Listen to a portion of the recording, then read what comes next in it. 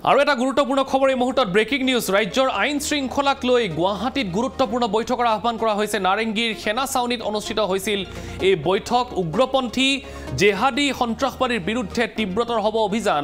আলফা স্বাধীনৰ সম্ভাৱ্য কুটাঘাটক লৈও এই বৈঠকত আলোচনা কৰা হৈছে। অভিযান গোটৰ বিশেষ বৈঠকত প্ৰস্তুত বিশেষ ৰণনীতি। ডি জি পি ভাস্কৰজ্যোতি মহন্তৰ উপস্থিতিত এই বৈঠকৰ আহ্বান কৰা হৈছিল। উপস্থিত আছিলে সেনা C R P F B S এফৰ আই বিৰ শীৰ্ষ বিষয়া। এটা গুৰুত্বপূৰ্ণ খবৰ এই মুহূৰ্তত জনাবলৈ বিচাৰিছোঁ। ইতিমধ্যে এখন বিশেষ বৈঠকৰ আহ্বান কৰা হৈছে য'ত উপস্থিত আছিলে খুদ ডি জি পিগৰাকী আইন শৃংখলাক লৈ। এইখন গুৰুত্বপূৰ্ণ বৈঠক নাৰেংগীৰ সেনা ছাউনীত ইতিমধ্যেই সম্পন্ন হৈছে। আৰু উগ্ৰপন্থী আৰু জেহাদী সন্ত্ৰাসবাদীৰ বিৰুদ্ধে অভিযান তীব্ৰতৰ কৰাৰ লক্ষ্যৰে লগতে আলফা স্বাধীনৰ সম্ভাৱ্য কুটাঘাটক লৈ এই বৈঠকত আলোচনা কৰা হৈছে। আৰু কি কি কথা আলোচনা কৰা হ'ল আৰু কি কাৰণে এই বৈঠকৰ আচলতে ইমান ততাতৈয়াকৈ আহ্বান কৰা হ'ল আমি সংযুক্ত হৈছোঁ আমাৰ সম্পাদক ৰাজদীপ বাইলুং বৰুৱাৰ সৈতে। ৰাজদীপ বাইলুং বৰুৱা এটা গুৰুত্বপূৰ্ণ খবৰ বিশেষকৈ ডি জি পিগৰাকী যিহেতু নিজেই বহিছে বৈঠকত আৰু হয়তো ডাঙৰ কিবা খবৰ বা ইনপুট লাভ কৰিছে অসম আৰক্ষীয়ে। ৰাজদীপ বাইলুং বৰুৱা। চাওক আটাইতকৈ ডাঙৰ কথাটো হ'ল এইখন অপাৰেশ্যন গ্ৰুপৰ মিটিং আছিল। অপাৰেশ্যন গ্ৰুপৰ মিটিং অভিযান গোটৰ মিটিং আছিল বৈঠক আছিল আৰু যিখন যিখনৰ অধ্যক্ষতা কৰিছিল সেনা বাহিনীৰ গজৰাজ কৰ্পছৰ যিগৰাকী লেফটেনেণ্ট জেনেৰেল দীনেশ সিং ৰাণা তেখেত জেনেৰেল অফিচাৰ কমাণ্ডিং।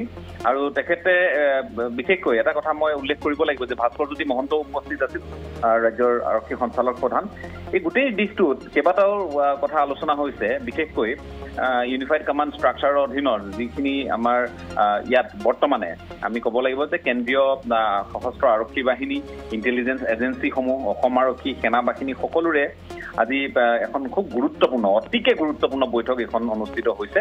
আৰু অসম আৰক্ষীৰ ফালৰ পৰা আমি যিখিনি তথ্য ইতিমধ্যে লাভ কৰিছো যে ভাস্কৰজ্যোতি মহন্ত আহ, সঞ্চালক প্ৰধান S D G P G P Singh আৰু লগতে দিগন্ত বৰা উপস্থিত আছিল হোম ছেক্ৰেটাৰী আৰু লগতে commissioner secretary home and political department Diganta Bora আৰু লগতে হীৰেণ নাথ উপস্থিত আছিল। গতিকে কেইবাগৰাকী বিষয়া উপস্থিত আছিল। তাৰ লগে লগে আমি এই কথাও জনাব লাগিব যে S S B C R P F B S F S I B S বিৰ শীৰ্ষ বিষয়াসকল অসম আৰু মেঘালয়ৰ তেওঁলোকো ইয়াত উপস্থিত আছিল। গতিকে আফস্পা প্ৰত্যাহাৰ কৰাৰ পাছত যিকেইখন যিকেইখন জিলাৰ পৰা প্ৰত্যাহাৰ কৰা হৈছে তাত কেনেধৰণৰ কথাবোৰ কেনেধৰণে আগবাঢ়িছে বা তাত কি ধৰণৰ গতিবিধি চলি আছে সেইখিনি সন্দৰ্ভত নিৰাপত্তালৈ কিবা প্ৰত্যাহ্বান আহিছে নেকি সেইখিনি বিষয়ত আলোচনা হৈছে তাৰ লগে লগে আমি এটা কথা উল্লেখ কৰিব লাগিব যে আলফা আই আলফা ইণ্ডিপেণ্ডেণ্ট বা আলফা স্বাধীন আৰু কে এল অ' তেওঁলোকে তেওঁলোকৰ ক্ষেত্ৰত কেনেধৰণৰ কি এই মুহূৰ্তত কথা বতৰাবোৰ কেনেধৰণৰ হৈছে সেইখিনিও পৰ্যালোচনা কৰা হৈছে। বিশেষকৈ আৰক্ষীক টাৰ্গেট কৰাৰ বিষয়টো আহিছে আন আন বিষয়সমূহ আহিছে। গতিকে এই গোটেই বিষয়খিনি সন্দৰ্ভত আলোচনা হৈছে আৰু লগতে মই আপোনালোকক আপোনাক জনাব লাগিব বা আমাৰ দৰ্শকসকলকো নিশ্চয় জনাব লাগিব যে এই মুহূৰ্তত শেহতীয়া বান পৰিস্থিতিত আৰ্মীৰ যিটো সহযোগিতা আছিল সেনাৰ যিটো সহযোগিতা আছিল সেই সন্দৰ্ভতো আহ, যথেষ্টখিনি আলোচনা বিলোচনা হৈছে। কিন্তু মূল কথাটো হ'ল যে ল এণ্ড অৰ্ডাৰ আইন শৃংখলা। গতিকে এই আইন শৃংখলাজনিত যিবোৰ বাইলুং বৰুৱা হয়। বাইলুং এটা কথা মই জানিবলৈ বিচাৰিছোঁ। আলফা স্বাধীন সন্দৰ্ভত কি কি কি কি ধৰণৰ আলোচনা হ'ল? কিবা নতুন ইনপুট লাভ কৰিছে নেকি আলফা স্বাধীন সন্দৰ্ভত? অভিযান তীব্ৰতৰ হ'ব। মূল কথাটো হ'ল আমি যিখিনি গম পাইছো সৌ সিদিনা ভাস্কৰজ্যোতি মহন্তইও কৈছে বা মুখ্যমন্ত্ৰীও কৈছে ইতিমধ্যে যে ত্ৰিয়াল্লিছ গৰাকী আহ, বা অসমীয়া যুৱক যিসকল আলফাত যোগদান কৰিছিল আলফাৰ শিবিৰত তেওঁলোকৰ মৃত্যু হোৱাৰ তথ্য মুখ্যমন্ত্ৰীয়ে এগৰাকী মুখ্যমন্ত্ৰী হিচাপে আনুষ্ঠানিকভাৱে এই কথাখিনি কৈছে। গতিকে এই বিষয় বিষয়বোৰ আছে। গতিকে কাউণ্টাৰ ইনচাৰ্জেঞ্চি অপাৰেশ্যন তীব্ৰতৰ হ'ব। আৰু লগতে যিসকলে ইতিমধ্যে চাৰেণ্ডাৰ কৰিছে আত্মসমৰ্পণ কৰিছে তেওঁলোকৰ পুনৰ সংস্থাপনৰ বিষয়টোৰ সন্দৰ্ভত আলোচনা হৈছে। আৰু তেওঁলোকে কেনেকৈ তেওঁলোকৰ তথ্যসমূহ শ্বেয়াৰ কৰিব বিনিময় কৰিব ইণ্টেলিজেঞ্চ শ্বেয়াৰিং কেনেকৈ হ'ব সেই কথা বতৰাখিনি যথেষ্ট আলোচনা হৈছে।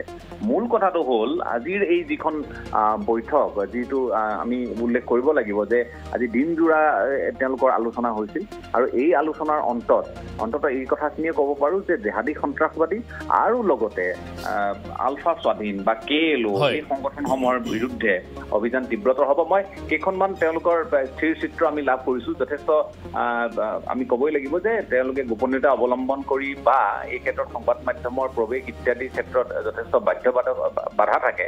গতিকে তেওঁলোকে নিজৰ মাজৰ যিখিনি আলোচনা বিলোচনা কৰিছে তাৰ। এটা বিশেষ তেওঁলোকে দুই এটা কথাহে জনাইছে। কিন্তু ভিতৰত আৰু কি কি আলোচনা হৈছে কেনেধৰণে অপাৰেশ্যন হ'ব কিন্তু মই আপোনাক বাৰম্বাৰ কৈছো অভিযান তীব্ৰতৰ হ'ব আৰু উজনি অসমত বিশেষকৈ আলফা স্বাধীনৰ য'ত গতিবিধি আছে তাত অভিযান যথেষ্ট তীব্ৰতৰ হ'ব সেই কথাখিনি ইতিমধ্যে অনুধাৱন কৰা হৈছে। নিশ্চয়। মই ধন্যবাদ জ্ঞাপন কৰিছোঁ। ৰাজদীপ পাইলুং বৰুৱা এইখিনি খুব গুৰুত্বপূৰ্ণ তথ্য আপুনি জনোৱাৰ বাবে পৰৱৰ্তী সময়ছোৱাত আৰু আৰক্ষীয়ে যদি আনুষ্ঠানিকভাৱে কিবা কয় আগন্তুক সময়তহে নিশ্চয়কৈ লক্ষণীয় হ'ব। বিশেষকৈ আকৌ কৈছোঁ যে এই বৈঠকখনক লৈ আৰক্ষীৰ মাজত কেনেধৰণৰ চৰ্চা হৈ আছে বা আৰক্ষীৰ মাজত এই ইনপুটক লৈ আপুনি যিটো কথা উল্লেখ কৰিলে এক্সক্লুচিভ এই মুহূৰ্তত কেইখনমান স্থিৰ চিত্ৰ দেখুৱাইছোঁ এন ডি টুৱেণ্টি ফ'ৰ দৰ্শকসকলক।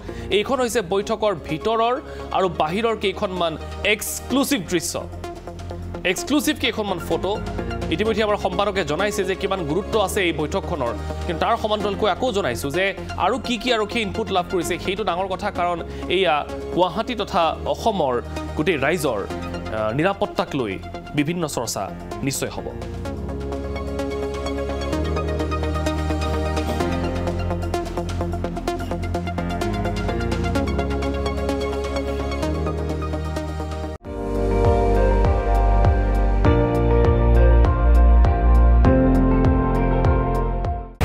আপুনি চাই আছে এন ডি টুৱেণ্টি ফ'ৰ।